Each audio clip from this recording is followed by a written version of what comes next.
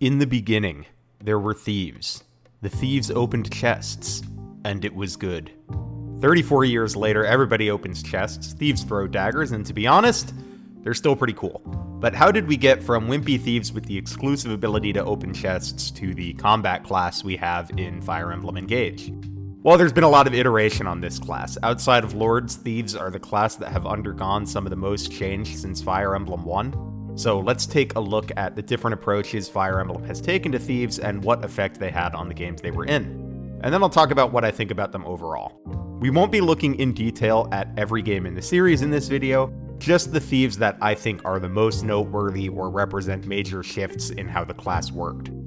But before we get into it, a big thank you to my geckos on Patreon and a shout out to my skinks, Morgwolf, Wingman, Upscale Furry Trash, Lonely Voxel, Cosplay Sylveon, Ikepoo, Lucy Sev, Emma, Stars to Art, The Noodle Doodler, Muted Miami, Aaron Geddon, Doobie, and Red Mage Morgan. If you want to support the channel, get shoutouts in videos like this, and get early access to videos, you'll find a link to the Patreon in the video description. As usual, we will be starting at the beginning, in Fire Emblem 1. Most of what I say here will also apply to FE3 Book 1, but there are some differences. We pick up our first thief in FE1 in Chapter 3, a fella named Julian who's fleeing bandits with a cleric named Lena. The game does a good job of impressing on you that Julian is not a fighter. He's not going to fight the bandits to protect Lena, he's going to run away from them. A stark contrast to the introduction of Navarre in the same chapter, who's here to chop up dudes real good. A funny thing about Julian, though, is that while you would expect him to not be much of a fighter, he actually has a strength growth of 70% in FE1. That's tied for the highest strength growth in the game. Though his low base of 4 strength and lack of promotion mean he won't cap it most of the time, and his less exciting defense stat means even if you train him, it's tricky to put him on the front lines. Plus, his weapon level growth is a stone cold zero, so however swole Julian gets, he's going to be at a deficit compared to units that can use better weapons.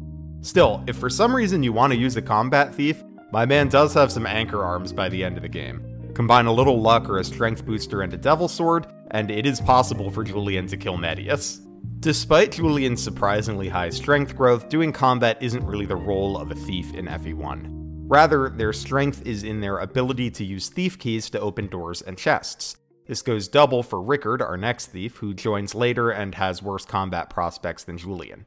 It's worth noting, though, that thieves are not strictly necessary for much in FE1. Door keys are purchasable as early as Chapter 5, and our Lord Marth can open chests himself. With that in mind, it may not sound like there's much for Thieves to do in FE1 at face value. However, I think Thieves serve two important roles. One is on a blind playthrough, nobody knows how many door keys they need to buy, and it's possible you managed your money poorly and you can't afford to buy enough door keys. Being able to deploy a thief to crack a door open is a great fallback option. Second, while Marth can open chests, Marth is a very busy guy in FE1. He's out here visiting villages, seizing thrones, recruiting dudes, and being a combat unit. So if I can deploy a thief to take a job off of Marth's plate, that's usually a good idea. For these reasons, I think players will find themselves getting used out of Thieves decently often in FE1. Which brings us to the interesting part about Thieves. How does bringing them to a map impact how you play it? It does a few things.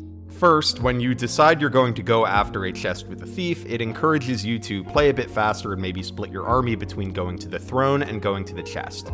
Enemy thieves are going to rush at chests and open them up if you don't get to them quickly, and in FE1 they don't drop the items they stole when they die. So you don't just need to get to chests with your thief, you need to get there faster than the enemy. Second, while your thief is on the way to the chest, they're going to need protecting, so deploying a thief to go get a chest adds sort of a escort quest side objective. In my last video, I talked a bit about how a weaker lord can become an escort quest on Seize maps. Thieves provide a lower stakes version of the same thing, and one that can be used on any map with any objective type. I say lower stakes for two reasons. First, losing a thief doesn't force a reset, and second, a thief's goal is generally just to get you an item rather than seize a throne, so it's not mission critical like an escort quest lord is. The dynamic that thieves have changed a little bit in FE3 where enemies do drop items that they stole from chests when they die, which in some cases means you can get away with not bringing a thief and not bringing a key.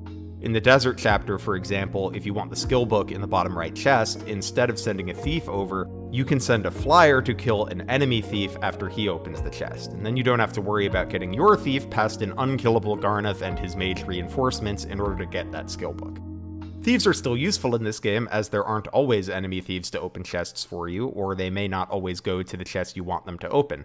Like in Book 1, Chapter 8, where the enemy thief is likely to open the first two chests on the map, but you'll probably kill him before you get to the farthest away chest. So it's still a good idea to bring a thief to grab the Dragon Killer Sword. These games also give you quite a bit of deployment, so it doesn't feel like a big deal to bring a thief along. FE3 Book 2 introduced a new thing for thieves to do as well, which is finding hidden items. Several maps in FE3 Book 2 have items hidden on specific spaces, and when one of your units ends their turn on that space, they have a luck percent chance of picking up the item. Unless they're a thief, and then it's a 100% chance. So functionally, these items are similar to chests in that they are a space you want to guide a thief to in order to grab an item, except you can't see them, enemy thieves aren't going after them, and your other blue units can also pick up the items if you don't mind waiting for them to hit their luck percent chance. Hidden items like this are used pretty often throughout the series, but for most of the rest of the series they are exclusively on desert maps, unlike in FE3 where they can appear on different sorts of maps. FE3 also introduced buyable chest keys, which frankly do invalidate thieves a bit as long as you saved some cash for them. Fortunately for thieves, the chest keys in Book 1 don't become available in Chapter 12, which is over halfway through the game, but in Book 2 they are available as early as Chapter 9. For the rest of the series, buyable door keys are very common, and chest keys are more inconsistent. I have a little bit of beef with buyable keys. I actually think it's okay that you can buy a key and bring it to a map instead of a thief, but I don't like that the cost to do so is so cheap in most games. In general, it is better to have a key than a thief for any given map, because you can give the key to a unit that is less prone to death than your thief. If keys were very expensive, players would have to make a choice between spending on keys to free up their thief deployment slot, potentially at the cost of not being able to afford other items, or saving their money but having to use and protect a thief to get chests in the game. Instead, usually it's pretty affordable to just buy all the keys you need in games where they are sold.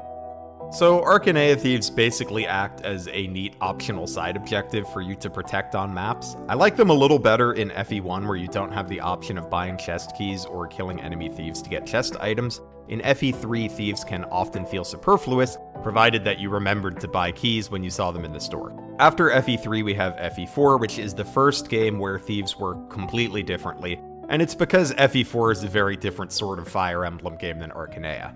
There aren't any chests on the maps or doors for them to open, instead thieves have crappy combat stats, but when they hit an enemy, they steal money from them. Even better is that unlike your other units, thieves can distribute money to anyone in your army.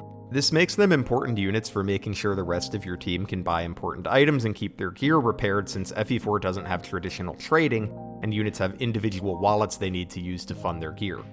It's particularly nice to be able to use a thief to pass money to staffers or weak combat units that struggle to clear the arena, since those units can have trouble raising money on their own. This is also the first game where thieves promote. Most players probably won't see this promotion since thieves have a hard time picking up kills and they don't need to to make their money, but with some dedication, you can promote a thief to Thief Fighter, which gives them a pretty sizable stat bonus. If you really want to promote a thief, a time-consuming trick you can do is get your thief married and then have them pass gold back and forth with their spouse. Unlike other units, thieves get experience when they give other units gold, so you can have them pass the loot back and forth until your thief is ready for promotion. Not something I would recommend, it takes forever. But hey, you can do it if you don't want to have to feed your thief kills to get them to promotion. An interesting thing about the way that thieves work in this game is that they need to attack to make their money. So you need to either find safe attacks for them to make, or have them use two ranged weapons or weapons like sleep swords that prevent counterattacks. But of course, then you're using one of those good weapons on a unit that doesn't have great combat, so I think it's an interesting trade-off deciding what weapons you want to give to your thief and how you want to find their attacks so that they can fund the rest of your army. FE4's iteration of the Thief class is really cool, and it's very different out of necessity because the traditional Thief from Archanea just has no place in FE4. There's no chests for them to open, there's no doors. There is one bridge that do opens in Gen 1, but it is hardly class defining. So instead of getting rid of the Thief, FE4 provided us with a pretty fresh take on the class that plays nicely with FE4's unique money and inventory system. Next up, we have FE5, which brought us perhaps my favorite version of the Thief class. At first glance, thieves in FE5 work pretty similarly to FE1 and 3 thieves. They open chests and doors and have mostly unexciting combat. However, FE5 introduces one command that changes everything for thieves, and that's steal. In addition to using lockpicks to open chests and doors, thieves can steal items right out of your enemy's pockets. There's a few restrictions though. First, you have to be faster than the enemy you're stealing from, and second, you can only steal items with a weight lighter than your thieves' build. So thief stats actually matter in this game because more speed and more build means more items that you can snag from enemies. There are obvious use cases to this, like stealing things like staves and healing items, but provided your thief has enough build, they can even snatch weapons right out of an enemy's hands. Most weapons are heavy enough that stealing them isn't super realistic, but our first thief can steal lighter tomes like Fire, Thunder, and Wind at base. This actually means thieves have pseudo combat contributions, as they can easily walk up to a mage, swipe their tome, and leave them helpless against the rest of your army. What's awesome about it is that they do this at 100% reliability and without ever having to face a counterattack. Doing this even helps you train weaker units because now that helpless mage is just a walking bag of EXP that you can whack with any unit you want to train. Thieves can also do their job in FE5 without holding a weapon, which allows them to act as capture bait on enemy phase. If you haven't played FE5, capture baiting is when you give a unit no weapons so that enemies will walk up to them and capture them instead of attacking them. This both saves you an attack on enemy phase and lowers their stats so you can kill them more easily on player phase. So there are some situations where a thief can snag a tome on player phase, capture bait on enemy phase, and they have functionally removed one enemy from the map, weakened a second one, and removed an enemy phase attack with minimal risk or investment required. It's awesome. And all of that is on top of stealing being a great way to get new weapons and items, which is especially relevant in the early game of Thracia where you don't have any money. So stealing items either to use or just to sell so you can buy better gear is great for your army. I really like how Thracia differentiates thieves and how you're rewarded a bit if you train one. Your first thief, Lifis, has more build than your second one, Lara, making him notably better at stealing, while Lara gains the ability to dance later in the game. Then, when we get a third thief later, Pern, he has even better build than your first thief. So all three of them have a place in the game, and there are even chapters where you may want to deploy more than one because there's so much stuff a thief can do. And if you want to steal more and better things, you need to do so by training a thief. Every build level on a thief is oh so sweet because that's just more items that they can swipe from your enemies. In addition to stealing giving thieves more to do in Thracia, Stealing also provides a new challenge for players to deal with. If there's a strong item you want to steal, sometimes it's on a strong enemy. This often means you need to be careful to create a situation where your thief can steal the item on the same turn you kill the enemy, which can be tough for enemies that have more move than your thief does. Once again, I like the challenge this offers, and it's cool that stealing is ultimately optional. So if there's a really frustrating steal target you're having trouble with, you can always elect to just skip it and miss out on an item, which is not such a terrible consequence. Thieves can also promote an FE5 into Thief Fighter. A fun fact related to this is that Lara can actually promote twice. If you promote Lara before the event that turns her into a dancer, she still turns into a dancer as usual, then you can promote her again later. Her level resets each time, so if you really wanted to, Lara can level up more than any other unit in the game. This is my favorite version of Thieves in the series because they're very powerful, but in a way that feels fun to use and very distinct from your other units. A thief can't dominate all the combat on a map for you, but having situations where they can contribute to defeating enemies and allowing them to steal items to fill your supplies when you need them most is cool. And this makes thieves feel like a great choice to deploy on lots of maps, even if you have enough door keys to open all the doors that you need to.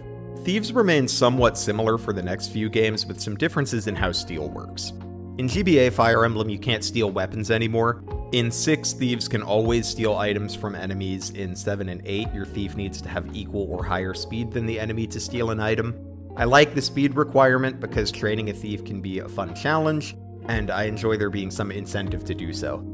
This is especially relevant in 7, where Matthew needs to gain a few points of speed to steal all of the nice items you would like him to in the early game. The only downside of this system is it does add some randomness into what you steal. Even if you train Matthew, it is possible for him to not hit his speed levels, and then there's some items that you can't get. Personally, I'm okay with this. None of the items are essential. I think it's okay to be able to miss a steal benchmark and lose a promotion item or a stat booster. None of the items Matthew can steal are essential, they're just nice to have, and if you want to increase your chances at not missing those benchmarks, you just level them up more. Another difference in the GBA games is that thieves don't promote in Fire Emblem 6. In 7, they promote to Assassin, a sword locked class with a chance to instantly kill enemies, and in 8, they can promote to either Assassin or Rogue, which is just like Thief, except it doesn't have to use Lockpick to open locks. Truthfully, these promotions sound more exciting than they are. None of the 7 and 8 Thieves are amazing combat units even if you promote them, and promoting into Assassin bafflingly makes Thieves lose their ability to steal. I still like Thieves having the option to promote. This lets players that really like Matthew or Colm or Legault be able to train them so that they can actually fight, and the instant kill effect is fun and exciting when it procs, even if it's not particularly good. In both 7 and 8, the final boss is immune to the assassin's instant kill ability, which I think was a bit of a cowardly move. If a player wants to rig a silencer from Marisa against Formortiis, I think they should be allowed to do that. The no assassinating final bosses rule feels like a bit of a no fun allowed move to me, especially since these bosses aren't even particularly hard. I basically think of Formortiis as a victory lap. FE 9 and 10 are sort of an in-between of GBA and Thracia. You can steal staves and weapons again, but not if they're equipped or locked to a specific user. Plus, in addition to needing to be faster than the enemy you're stealing from, in the Tellius games you need strength higher than the item you're stealing's weight in order to steal it. GBA and Tellius tweak how thieves work, but the core function of a thief is pretty similar across them. The dynamic is that you bring this weaker unit to go snag items and protect them with your stronger units, being careful to create situations where they can safely steal from enemies that are carrying good stealables. The main differentiating factors for how good a thief is in these games is what can they steal, plus the way that non-thief specific mechanics interact with the thief class. Enemies capturing your dudes in Thracia is not a thief specific mechanic, for example, but the fact that a thief can do most of their job while walking around without a weapon makes them a good candidate for capture baiting, and that makes them a little stronger. The prevalence of keys in a game, of course, also impacts how good thieves are. FE8 thieves feel pretty underwhelming, in part because chest keys become available to buy pretty early in the game, whereas in games where chest keys are less available, thieves are more valued for their chest opening abilities. We do need to touch on one specific thief in these games, though, and that's FE10 Sothe because he is quite different than all previous thieves. While we have had the occasional thief in the series with serviceable combat, like Astolfo in FE6 or Pern in FE5, FE10 gives us our first and so far only Thief Jagen, and that's Sothe. This guy basically feels like the opposite of thieves we've talked about so far, at least during the early game of FE10. You aren't escorting him, he's escorting your other units. Though he can, of course, still do thief things like opening chests, he just feels more focused on being a Jagen, at least during part 1. This doesn't represent a major shift in how thieves work, but it is an early sample of what a combat thief might look like. One interesting aspect of having a thief Jagen is that when there are thief responsibilities on a map, you need to decide how to prioritize what Sothe is doing. Does he stick around your main squad and do combat, or do you go send him to open a chest or pick up a hidden item? In previous games, this is an easy choice. The thief goes to open the chest. But in FE10, if you send Sothe to go open a chest or grab a hidden item, that's taking him away from combat that you will now have to do with a worse unit. Sothe isn't really representative of what Thieves looked like in this era of Fire Emblem, but I wanted to touch on him because he's one of the most unique Thieves in the series. After Radiant Dawn, we lose Stealing and Thieves go back to being on the simple side for the Archanea remakes, Fire Emblems 11 and 12. Awakening Thieves work similarly. The only major differences are that in 11 and 12, Thieves can't promote, and nobody can reclass into or out of Thief, Whereas in Awakening, Thieves can reclass or promote like any other class, and other classes can change into Thief, provided it's part of that unit's reclass list.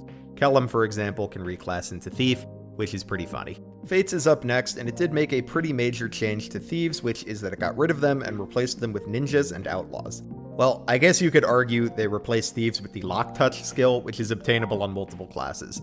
But Ninjas and Outlaws feel like the Thief analogs in the game to me, they come with lock touch and they arrive early in the game.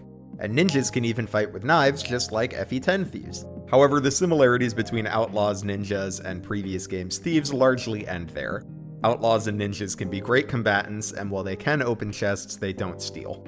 Outside of specifically Sothe in Radiant Dawn, this is the first game where your lock touch units are honestly more focused on combat, you would use ninjas and outlaws even if they couldn't crack a lock open for you, and you can reclass them out of outlaw and ninja, and they can still crack locks open for you. So your unit that's opening locks can also be opening the skulls of your enemies pretty easily. In previous games, your lock touch units are mostly there to open chests and doors, and any combat they do is sort of a bonus. In Fates, it's the other way around. Your lock touch units are essentially just normal units, and the chests that they open are the bonus. Echoes doesn't have thieves, but the class does return in three houses, and with it the steal command. In this case, it is a class mastery skill for the thief class, and allows you to steal non-weapon items from units with lower speed than your unit. So basically the GBA method, except you need to master a class to access the steal skill. Unlike some previous iterations of Thieves, Thieves in Three Houses don't have to have bad combat, though obviously they would have better combat in another class. I find Steal as a class mastery skill to be an interesting design choice. It makes it so that if you want to be able to steal items, you need to commit to the Thief class at least for a little bit, and importantly, you can't be working towards another class's mastery skill while you build up to the thief one. So if you want one of your units to get steal, they're going to have to detour from whatever classes you wanted them to master for the rest of their build and focus on mastering thief instead. I like this as a choice for the player. Do you want to just rush through the most important classes for a unit's combat, or will you detour through Thief and hope to make up the difference through stolen items? Other than that, Thieves in Three Houses don't work too differently than previous Thieves. Though Three Houses doesn't feel like a big Thief game, there aren't a ton of chests and doors, and there are buyable keys that you can use. But I like how they did the steal command. And that's going to bring us to our final thief in Engage. I'm going to spend a lot of time on this one since it's a game I've played a lot recently, and Engage's thief is pretty unusual. In many ways, Engage's Thief feels more similar to Fates' Ninja than Three Houses' Thief, which makes sense since Three Houses was made by a different company. In fact, Engage's Thief is almost entirely unrecognizable compared to Thieves in the earlier games, so let's take a look at how they work in Engage. Like Fate's ninjas, Engage Thieves are primarily 1 to 2 range fighters using daggers, which debuff enemies when they hit them. The debuff is quite different though. In Fates, getting hit with a throwing weapon inflicted a stat penalty, and that penalty differed depending on which throwing weapon was used. In Engage, all daggers apply poison, a stacking debuff that makes an enemy take one extra damage per stack of poison every time they get hit. In theory, this is pretty cool. I think it's fun in many games to do massive debuff stacks and watch an enemy die to them, but in Engage, I think this was less of a good fit. It's not that hard to one round in Engage, and it's pretty uncommon that you can't take out an enemy with two of yours. With that in mind, it's difficult for poison to stack up before an enemy dies, and often the poison just isn't necessary to kill the enemy. Its best use cases is against bosses who sport multiple health bars and are likely to be attacked three or four times. I do like how the debuff interacts with refresh effects like Seadall or Byleth Dance. Using those tools allows you to apply multiple stacks of poison in a single turn, which is fun even if I don't think it's the best way to kill enemies. Thieves also have the relatively uncommon covert typing on their class, which has some pretty strong synergy with emblem rings, giving you access to effects like a 20 range Astra Storm with Lyn, a speed rally with Byleth, or if you want your thief to be a little more self-sufficient, they can set up Fog with Corrin to really pump their dodge rate up, which is one of the more thiefy feeling things that thieves do in Engage. In a change I found surprising, thieves don't promote in Engage. In fact, they are a bit of a special case. Nothing promotes into Thief, and Thieves can only class change into promoted classes once they hit level 21. Similarly, other units can't class change into Thief until they promote. The effect of this choice is that Engage can give you an early Thief like Yunaka with high class bases, and this allows her to feel strong and be unique for a while since your other scrubs can't reclass into Thief yet. However, while Thief's reclassing situation makes Yunaka feel unique when she joins, it also makes Thief a bit of an awkward class. Other units can be promoted and reclassing into whatever classes suit them for a given map, while Thieves are stuck grinding their way to level 21 before they can make a change. Making Thieves work this way also denies units like Yunaka a cool promotion unit that all of your other early growth units get. This is unfortunate because I think a Trickster promotion would have worked great in Engage. Staves are powerful and fun to use and engage, and I think the flavor of the class would fit a character like Yunaka really nicely.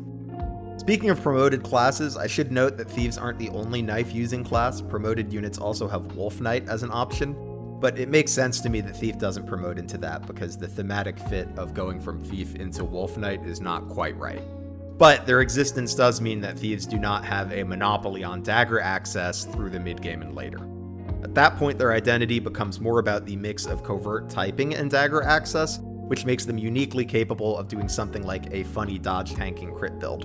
You may have noticed I didn't mention Thief utility anywhere in this, and that's because there really isn't any in Engage. because any unit can open a chest, so you don't need to bring a thief and escort them to a chest to open it.